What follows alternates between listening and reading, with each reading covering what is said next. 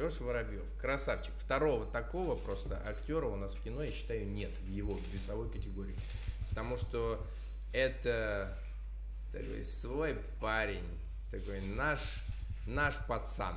И, и ровно такого он играет, такого беззаботного, немножечко легкомысленного, эм, любвеобильного, очень живо реагирующего на все, что происходит вокруг него. Особенно если женщины появляются. Особенно если женщины появляются, да.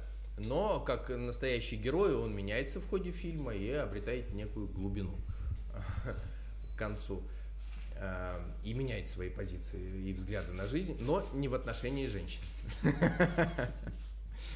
Вот. Э, ну, мы все знаем, к сожалению, вот Леша по этой причине не может здесь присутствовать из-за той трагедии, которая произошла с ним. Сейчас врачи запрещают ему летать. Мы до, до, до самого последнего момента надеялись, что все-таки удастся как-то перебраться ему в Москву, да, через океан, но не получилось. У него речь восстановилась, он говорит нормально, но э, голосом, например, как музыкальным инструментом он уже владеть не может. То есть у него там часть связок, она пока не работает. Все это восстанавливается со временем. Мы будем надеяться, он парень молодой, сильный, что он из этой болезни выберется. Вот, все очень переживаем. Он переживает, что его здесь нет. Мы переживаем, что его нет э, с нами. Но тем не менее он работал активно очень над картиной и после болезни, после того, как с ним случился инсульт, а, после того, как он пришел в себя,